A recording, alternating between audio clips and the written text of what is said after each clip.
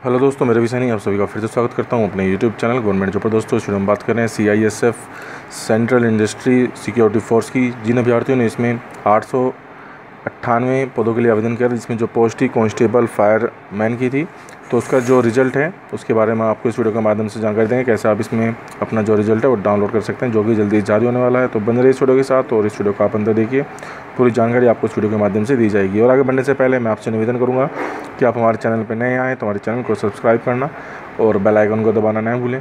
क्योंकि दोस्तों, हम इसमें जितने भी government job admit card result और सिलेबस जारी होते हैं, हम आपको वीडियो के माध्यम से स्टेप बाय स्टेप गाइड करते हैं। तो चलिए दोस्तों, चलते नहीं वेबसाइट जिसका नाम है गायत्री जॉब्स डॉट कॉम और ये जो पोस्ट है C I S F constable fireman result 2018 अपन जो वेबसाइट है गाती जॉब डॉट कॉम वहाँ से भी जाकर आप चेक कर सकते हैं। इससे पिछली वीडियो में हमने आपको उसका एडमिट कार्ड के बारे में बताया था तो उसमें जो रिज़ल्ट है, आप लोगों का जो एग्ज़ाम हुआ था, वो पंद्रह जुलाई दो को हुआ था डिफरेंट वेन्यू थे इसमें।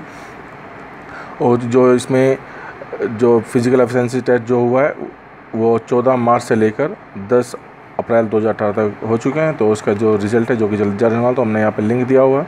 इस लिंक पर आपको क्लिक करना है तो आप इनकी जो ऑफिशियल वेबसाइट है, वहाँ पर आप पहुँच जाएँगे। ये देख सकते हैं आप central industrial security force, ministry of home affair, government of India, ये उनकी जो ऑफिशियल वेबसाइट है।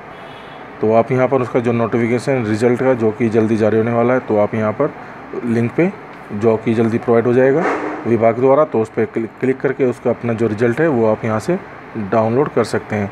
जिसमें आपकी पूरे रोल नंबर वगैरह सब दिए होंगे। इसमें जो सिलेक्शन प्रोसेस था दोस्तों, उसके बारे में थोड़ा सा आपको बता दें। इसमें सबसे पहले फ़िज़िकल एफिशिएंसी टेस्ट रहा, फिर physical standard test efficiency test document verification return examination होगा, उसके बाद यहाँ पर मेडिकल एग्जामिनेशन रहेगा। तो नेक्स्ट स्टेप जो रहेगा, उसमें मेडिकल एग्जामिनेशन के लिए आपको बुलाया जाएगा दोस्तों। जो रिज़ल्ट जारी होगा, जिसमें अभ्यर्थी हैं, जिनका इसमें नंबर रोल नंबर आएँगे तो उन सभी का मेडिकल एग्जामिनेशन रहेगा।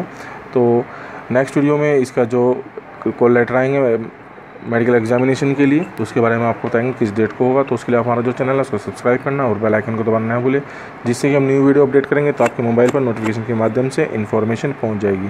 तो दोस्तों, हमारे द्वारा बताई गई जानकारी आपको कैसी लगी, आप हमें वीडियो के कमेंट बॉक्स में कमेंट करना और इस वीडियो को लाइक और शेयर करना ना भूलें।